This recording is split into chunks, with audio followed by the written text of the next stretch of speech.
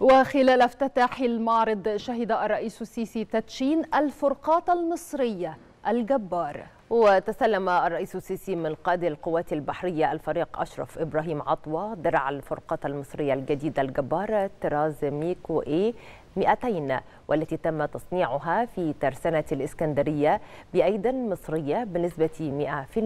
100%